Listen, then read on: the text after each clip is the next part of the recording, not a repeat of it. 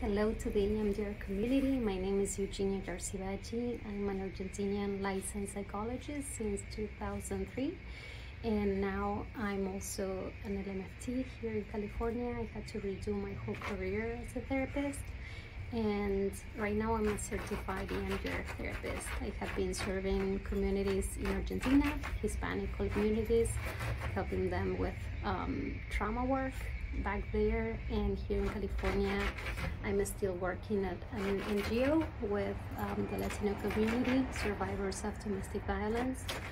So I have been also providing trauma treatment for adults and kids and it has been a wonderful, wonderful approach. Um, a lot faster than talk therapy, a lot more effective than talk therapy for the processing of, of trauma. So I'm very pleased to share with you my experience. I hope to um, see you all soon at the conference. Bye bye.